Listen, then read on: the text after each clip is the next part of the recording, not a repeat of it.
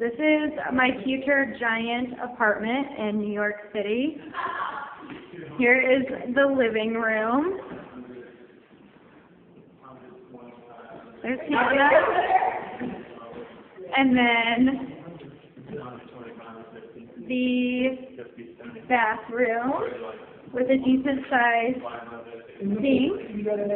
I know. Closet for Caroline or Hannah. Bedroom for Erica with closet.